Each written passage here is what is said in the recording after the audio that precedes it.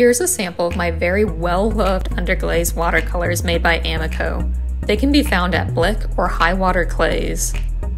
I believe there are a few palettes out there, but these are sets 108 and 110. Set your pans up with a jar of water.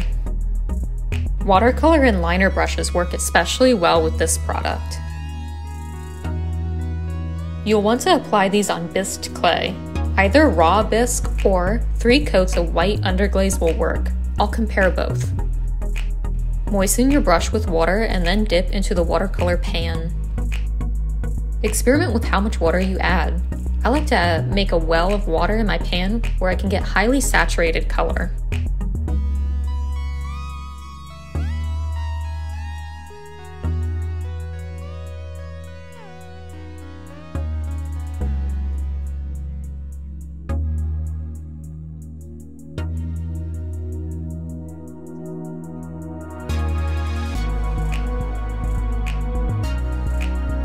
Some colors are stiffer than others and may need a couple passes to really get them to show.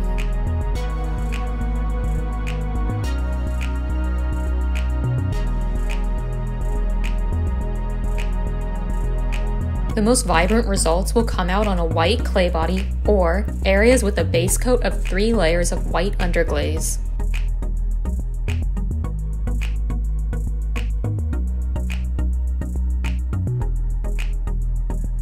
You can erase your underglaze watercolor painting with a wet sponge.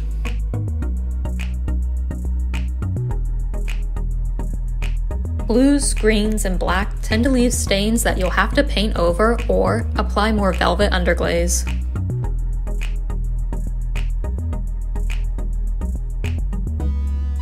To spot erase, I like to use a wet brush and gently wipe back and forth, then dab away excess water with a sponge.